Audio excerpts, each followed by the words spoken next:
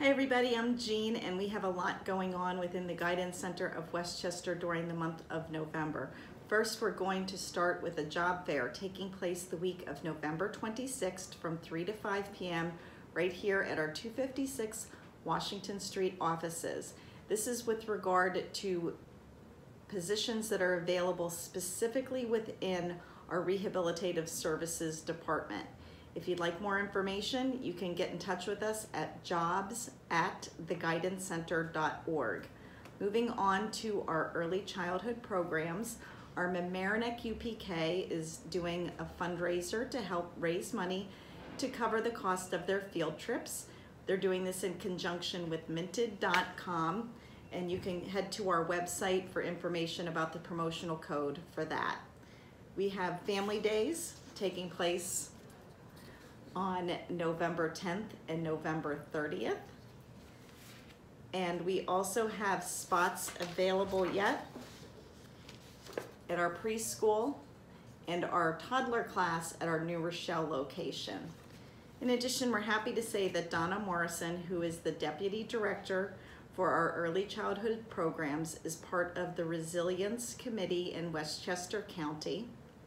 There is a film as well as a Q&A that takes place with regard to resilience. It's done in conjunction with the Westchester Library Association as well as a whole committee of people in Westchester County. Uh, resilience focuses on childhood trauma and the impact that it has on a child's physical as well as their mental health. If you're interested to learn more about resilience, you can look at the Westchester Libraries page or you can get in touch with our very own Donna Morrison, who is part of this committee.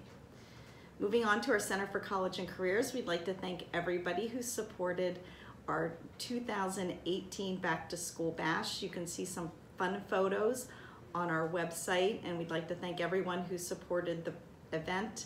And if you'd still like to donate, you can do that as well through our website. In addition, the Back to School Bash got the attention of Univision 41 who came here to our center-based program for the Center for College and Careers and shot a very short news segment on the program. It's terrific. I encourage you to check that out on our website. Um, the end of October and this first week in November, we had College Essay Saturdays taking place at New Rochelle High School within our Center for College and Careers. We had volunteers show up to help students work on their college essays and everyone knows what a process that is. If you'd like more information on this or to see how you can get involved with the Center for College and Careers, you can email us at ccc at theguidancecenter.org. Last but not least, our fall newsletter should be in your mailbox or in your email, and it's also on our website.